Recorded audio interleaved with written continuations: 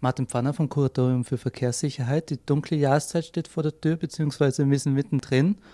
Und da ist natürlich auch die Frage Sichtbarkeit im Straßenverkehr. Wenn man rausschaut, Winterkleidung, Wintermäntel sind alle schwarz, braun, grau.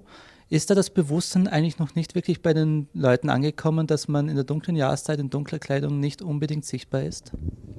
Äh, das ist wirklich noch nicht angekommen. Äh, wir wissen, es sind über 90 Prozent der Erwachsenen, die dunkel gekleidet sind. Äh, was wir gemacht haben, ist auch eine Erhebung bei Kindern. Und da war das Ergebnis eigentlich sehr überraschend. Da sind es nämlich auch zwei Drittel, die dunkel gekleidet sind, jugendliche Kinder. Äh, und das ist natürlich sehr gefährlich, weil mit dunkler Kleidung bin ich natürlich erst so auf rund 30 Meter sichtbar. Und wenn ich jetzt zum Beispiel eine helle Kleidung habe, sind es doch schon 70, 80 Meter. Wenn ich einen Reflektor trage, sind es 130, 140 Meter. Und das ist natürlich eine sehr wichtige Zeit für einen Autofahrer, dass er hier wirklich rechtzeitig äh, reagieren kann. Darum machen wir auch äh, in Schulen, in Kindergärten äh, Aktionen.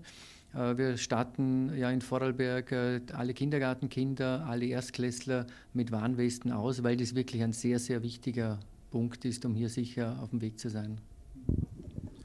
Wie gut wird denn das angenommen von den Eltern vor allem und von den Kindern? Wenn wir jetzt gerade gesagt haben, zwei Drittel der Kinder sind eigentlich nicht wirklich gut sichtbar, ist man dann wenigstens froh über diesen Hinweis, über diese Zusatzausstattung? Ja, auf jeden Fall. Äh, es sind ja die Schultaschen und auch wirklich die, ich sage es, die Kinderschuhe der kleinen Kinder sind ja mit Reflektoren äh, behaftet.